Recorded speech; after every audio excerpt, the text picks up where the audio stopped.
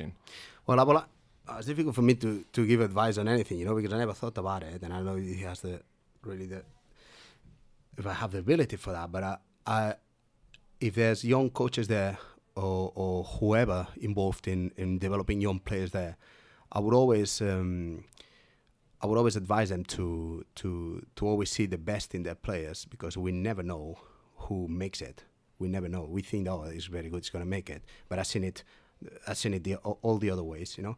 And to put a lot of work on, especially on the young ages, on developing the skill, developing the skill, on mixing a lot of street football with with normal football, and and put the players as much as possible on, on touch of the ball, uh, but with a purpose to create a plan with a purpose. And for me, it's as simple as we all should have a half an hour think about all the actions that beat opposition and avoids being beaten. Like passing, if it doesn't beat an opposition, it's not beating the opposition. But the passing that beats opposition, then get a little bit of, of digging into that and develop it into the play. Create little drills to develop this kind of passing.